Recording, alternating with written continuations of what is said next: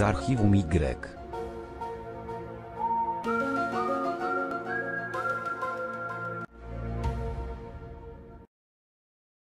Cześć, witajcie wszyscy w pierwszym odcinku z Archiwum Y, serii, w której będę wam przedstawiać fakty i tajemnice z procesu produkcji, szkice konceptualne, niewykorzystane pomysły i inne ciekawe rzeczy. Każdy odcinek tej serii będzie skupiać się na odpowiadającym mu odcinku drużyny Y. I choć w tej chwili istnieją zaledwie dwa, na pewno z czasem się to zmieni. Ten odcinek będzie publiczny przez dwa tygodnie.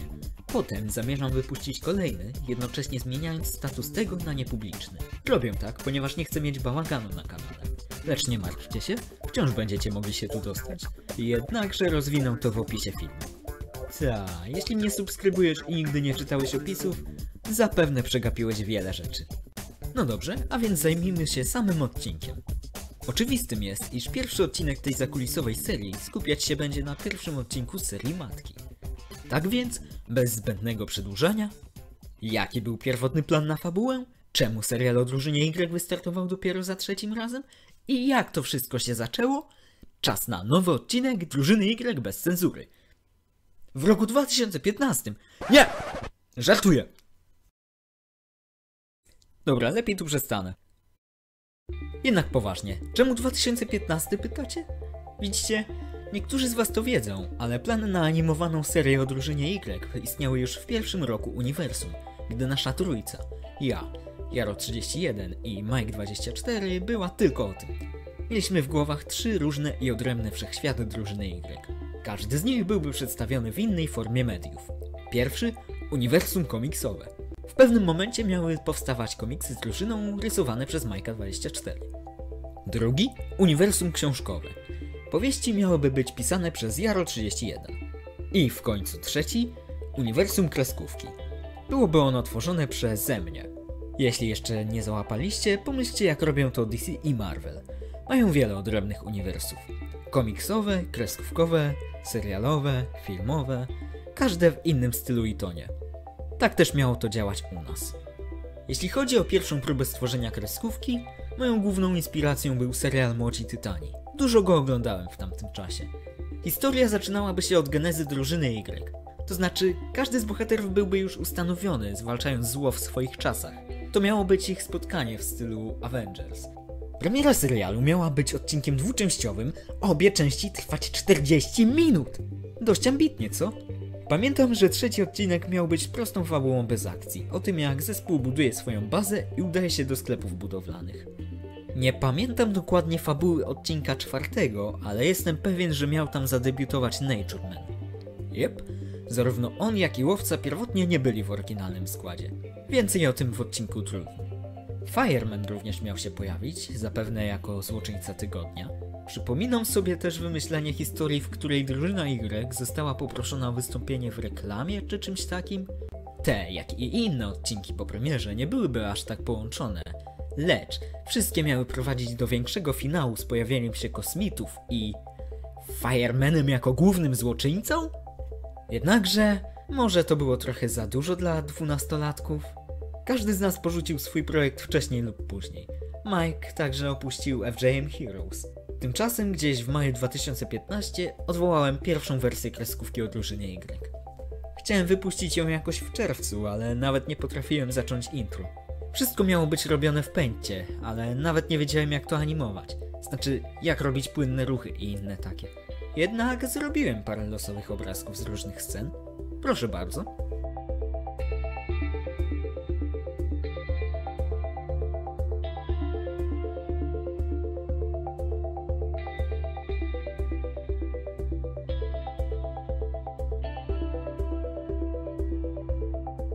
Każdym razie anulowałem to i postanowiłem przejąć obowiązki Jaro. Napisałem powieści Akrobata i Drużyna Y, ale nie są one w żaden sposób kanonicznie, gdyż były do dupy i obie przepisałem ponad rok później. Polecam je sprawdzić na moim Woodpadzie. Ale 3 sierpnia 2015, czasem mam dobrą pamięć do dat, po powrocie z wakacji w Łebie, zdecydowałem, że ponownie spróbuję z kreskówką o drużynie Y. Miała być trochę bardziej głupkowata i oparta głównie na humorze. Trochę jak Młodzi Tytani akcja, ale zrobione dobrze. Wciąż miało być trochę akcji, więc to chyba okej. Teraz miałem na to plany na dwa sezony. Dałem nawet radę zrobić czołówkę i pierwszej półtorej minuty pierwszego odcinka. Niestety mam tylko parę pojedynczych klatek z mojego konta na NK. Oto one.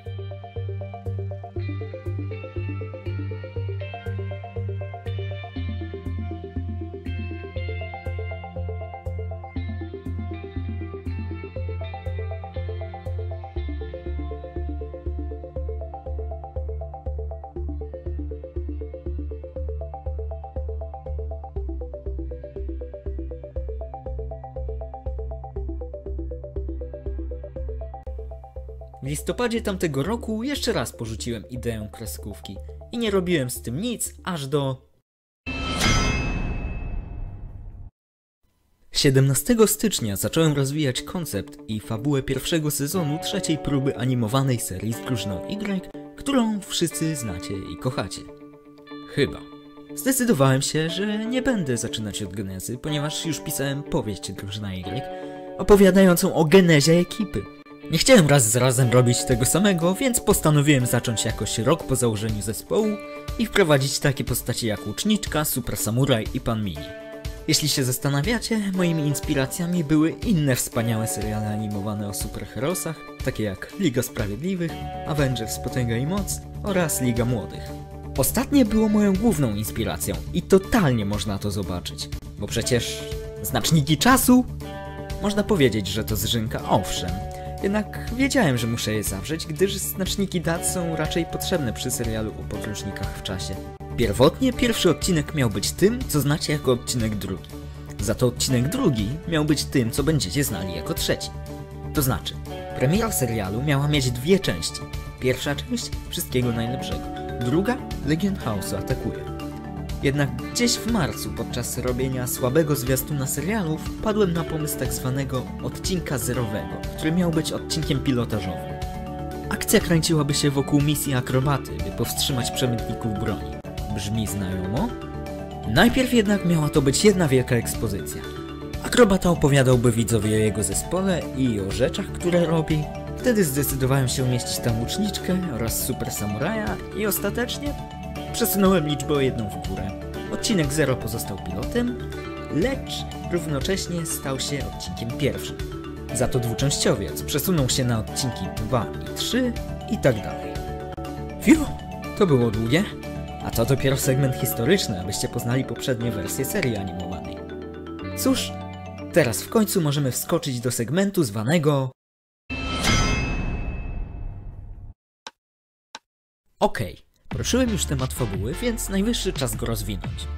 Jak mówiłem wcześniej, akrobata miał tak jakby wyjaśnić świat, w którym żyje, a nawet skreślić genesę drużyny Y.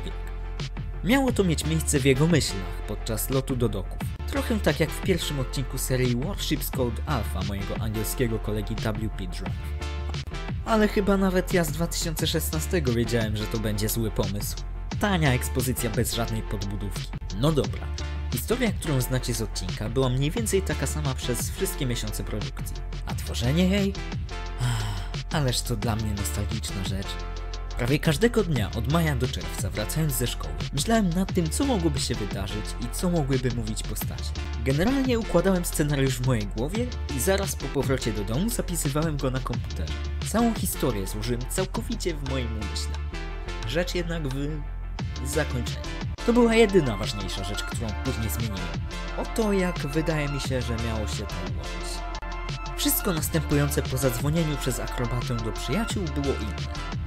Widzicie, w tej wersji historii każdy zaakceptował wezwanie. Zarówno Błysk, jak i polski patriota, ale także ludzki lud, który ostatecznie został tylko wspomniany. Oraz Natureman z łowcą, którzy nawet się w ogóle nie pojawili, oprócz ich logo na komunikatorze. Tak, wszyscy przenieśliby się do teraźniejszości, by pomóc akrobacie i łuczniczce w walce z generałem Johnem. Nie pamiętam jednak samuraja wśród nich, więc zapewne to był powód, dlaczego zrezygnowałem z pomysłu. I najprawdopodobniej, ponieważ animowanie ich mocy byłoby zbyt trudne dla mnie z 2016. Ale naprawdę, myślę, że bardzo chciałem zawrzeć samuraja, lecz gdybym wybrał zakończenie, o którym właśnie opowiedziałem, nie byłoby na niego miejsca. A szczerze? Cieszę się, że to zmieniłem. Jasne, jest to trochę głupie. W końcu serial nazywa się Drużyna Y, a w głównej historii jest tylko jeden właściwy członek zespołu. Lecz to pozwoliło mi umieścić widza w miejscu łuczniczki i super samuraja. Drużyna istnieje przez rok, mają za sobą jakąś historię, a tu nagle ta dwójka do nich dołącza i są nowi w stosunku do wszystkiego. Ponadto to zrobiło tych dwoje głównymi postaciami w pilocie, podczas gdy wszystkiego najlepszego przedstawia nam i rozwija OG drużyny Y, zapominając na chwilę o łuczniczce i samuraju. Pierwsze dwa odcinki skupiają się na dwóch różnych grupach postaci, z akrobatą będącym mostem między nimi. Jakkolwiek głupi nie byłem i nadal jestem, był to moim zdaniem sprytny ruch. Znaczy, może to tylko ja, patrzący na tym z pozycji twórcy. W takim razie potrzebuję kogoś, by spojrzał na to świeżym. Więc powiedzcie mi, co myślicie o tym pomyśle. Czy wypalił? Dajcie mi znać. Także to była chyba jedyna ważna rzecz. Po wyrzuceniu tego pomysłu chyba nie było żadnych większych zmian, tylko usunięcie głupich i nic nie wnoszących scen. Obie były połączone z cameo OG drużyny Y. Zanim zaczniemy, rzecz w tym, że były one inspirowane niespodziewanym występem Flasha w Legionie Samobójców. No honor among thieves, eh? Strasznie chciałem wszystkich im pokazać. Hej, myślicie, że to uniwersum to tylko akrobata drużyna Y i John z innymi arcywrogami w teraźniejszości? No chyba nie! Widzicie, drużyna Y pochodzi z różnych okresów czasowych, a tam istnieje masa innych, różnorodnych postaci. Ta, to był trochę głupi pomysł, ale czy rzeczywiście wypadł tak źle? To jest dla was do ocenienia. W każdym razie, pozostałe zmiany były związane tylko z tym. Po pierwsze, Kemio polskiego patrioty. Miał on być w środku walki, tak jak błysk. A walczyłby z nikim innym jak Siergiejem Rybakowym. Byłby to jeden złoczyńca więcej pojawiający się w odcinku drugim, którego wprowadziłem już w pierwszym.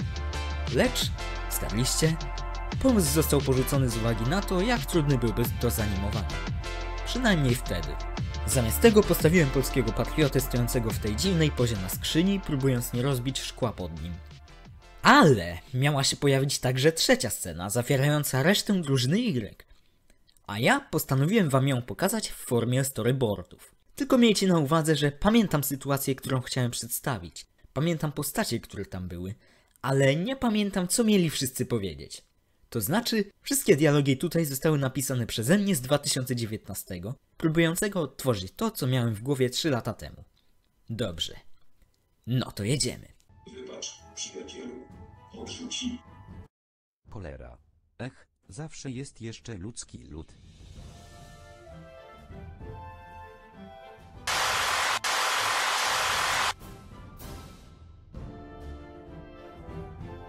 Nieładnie tak bez przerwy uciekać z więzienia.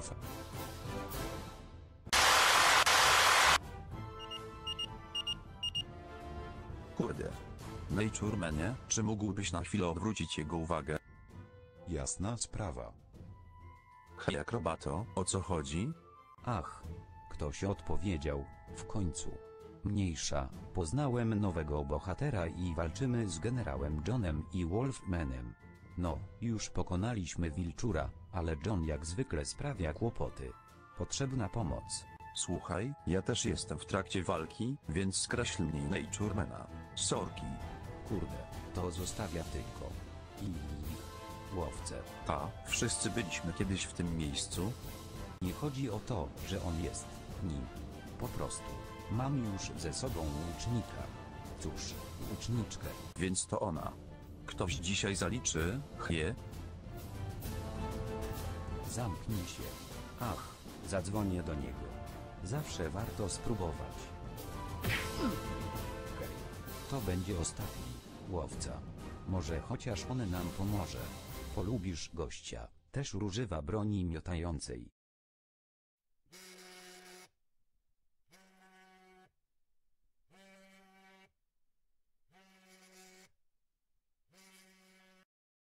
No to chyba nawet na niego nie możemy liczyć. Może damy sobie radę sami?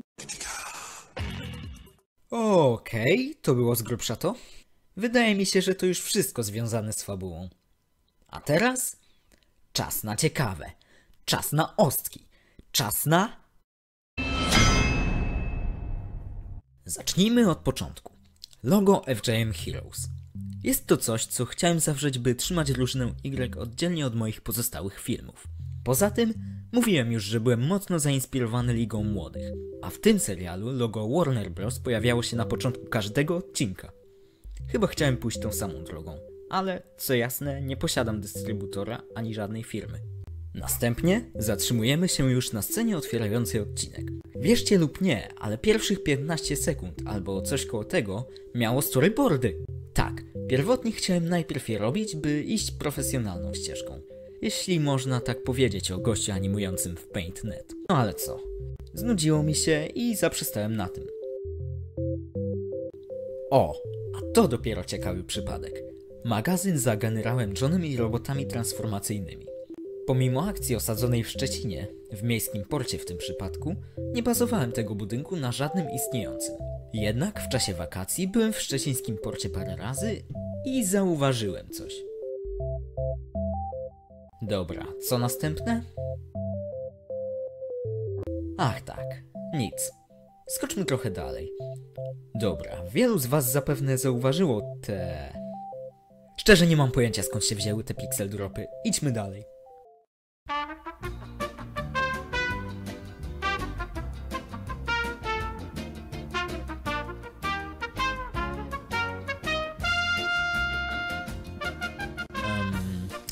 W tym miejscu w angielskiej wersji był kawałek dotyczący słabego tłumaczenia z polskiego na angielski, więc po prostu wstawiam to, by wypełnić czas antenowy.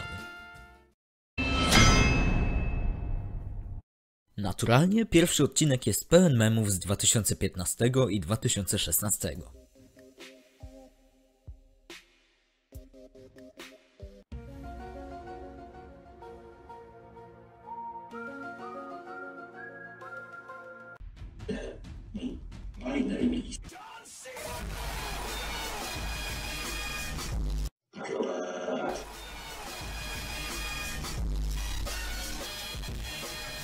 Ale jest też w nim wiele nawiązań i easter eggów. Przecież nie ma takiego wejścia, z którego i wyjścia by nie było.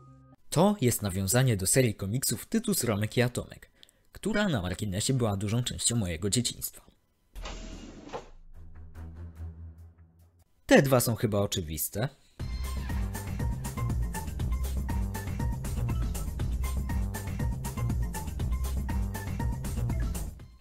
A to oczywiście parodia Subway Surfers. Bardzo biednie zrobiona. O, jestem pewien, że znacie tych gości. Tak, to Tobias Sanders i Larry Millie. Możecie ich znać z No Life's Home Alone. Albo i nie, bo jest tylko po angielsku. Prędzej czy później dodam polskie napisy. Wracając, oryginalnie byli postaciami doktora Saturna, a ich pierwszy występ miał miejsce w jednym z Dr. Saturn's Shorts. Warto wspomnieć, że tak właściwie byli oni oparci na jego simach. Osi. Niestety, Wolfmanie, nie mam przy sobie.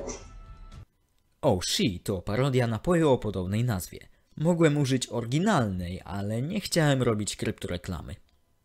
Teraz, ciekawa rzecz dotycząca miejsca, w którym znajduje się Patriota, które możecie znać z odcinka drugiego jako bazę Siergieja Rybakowa, jest fakt, iż jest to bezpośrednie nawiązanie do jednego z minecraftowych rysunków Saturna. Przedstawia on jego postać zwaną osadnikiem numer 26, agentem ASAP. Tak, chciałem oddać hołd Erze Axela. To dopiero początek. Słyszycie? To tylko początek. Jeszcze się stąd wydostanę. Przeklinam was. Ach tak, Cameo Filipa. Może na to wpadliście, może nie, ale jest to dla FJM swego rodzaju wersja marvelowskich cameo Stana Lee. Rest in peace. Więc no, miejcie na uwadze, że Filip, ja, pojawi się w każdej produkcji FJM. Czasem w tle, czasem na pierwszym planie, czasem z kwestią, czasem będąc nieśmiałym, ale ogółem w każdym odcinku.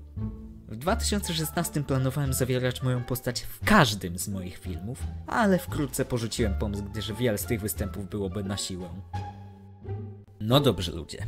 Wszystko to było niezłą zabawą, ale chyba opowiedziałem już wszystko co interesujące, więc czas zakończyć ten odcinek. Mam nadzieję, że spodobały się Wam ciekawostki, zapomniane materiały jak te storyboardy i usunięta scena oraz wszystkie inne rzeczy. Teraz wiecie o wiele więcej o produkcji pilota. Być może wciąż jest wiele rzeczy, o których Wam nie powiedziałem, ale jestem pewny, że są to jakieś pomniejsze sprawy. To mówiąc, Dziękuję bardzo za oglądanie i oczekujcie nowych filmów. Żegnajcie i do zobaczenia w kolejnym odcinku Z archiwum Y.